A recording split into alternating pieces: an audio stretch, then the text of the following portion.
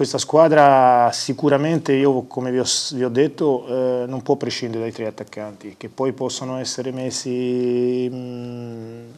come ho detto prima, in un 4-3-3 o che possa essere addirittura anche un rombo, un 4-3-2-1, questo lo vedremo ora con il tempo, quando eh, saremo completati e quando potrò valutare bene anche le attitudini no, dei ragazzi. Per adesso vedo grande impegno, disponibilità specialmente nelle due fasi, però è chiaro che questa è una squadra che per supportare le, i tre attaccanti deve portare molta pressione alta. Eh, oggi a Sprazzi abbiamo cercato di farlo, però bisognerà farlo molto molto molto meglio perché eh,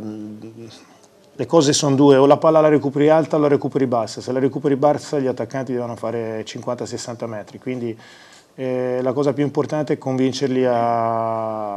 a bruciare delle energie per mantenere alta la, la squadra e chiaramente eh, gli altri reparti devono supportare questo. Io quello che ho detto e quello che dico ai ragazzi tutti i giorni è che noi dobbiamo,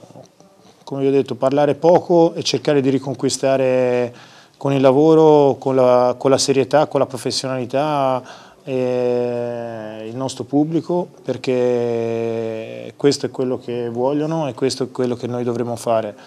Eh, e io purtroppo non conosco altre, altri metodi se non passare dal lavoro, dal sacrificio, dalla, eh, dal creare un, un, un, gruppo compatto che sia in grado di, di, di